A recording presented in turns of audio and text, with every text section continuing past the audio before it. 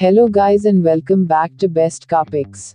Honda is redesigning many of its SUV models this year, with a new 2023 HRV on its way and a new Pilot slated to arrive later this year.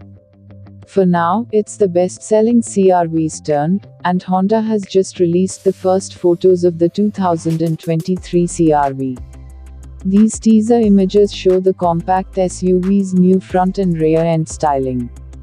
Based on previous spy photos, we expect the new CRV to grow a bit compared with the current model, and its new headlights and tail lights, along with a larger grille, should give it more presence on the road.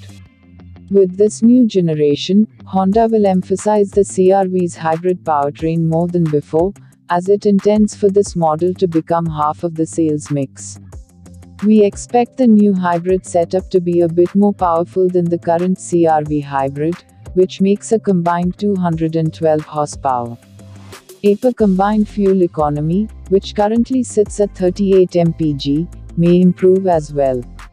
In our long-term test of a 2021 CRV hybrid, we averaged 30 mpg overall.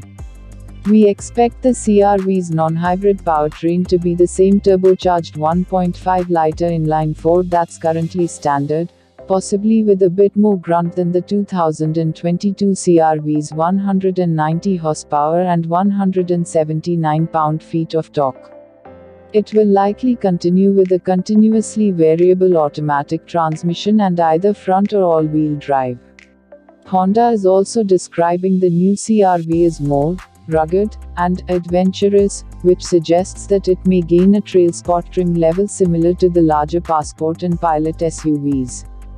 In the CRV's case, this is likely to include mostly appearance tweaks, along with different tires and possibly minor enhancements to the all-wheel drive system or drive modes. The existing LX, EX, EX-L, and Touring trim levels should carry over as well. Look for more concrete information to come on the CRV within the next few months, including engine specs, pricing, and feature details. Hope you enjoyed the video, do subscribe for more such interesting contents. Thanks for watching.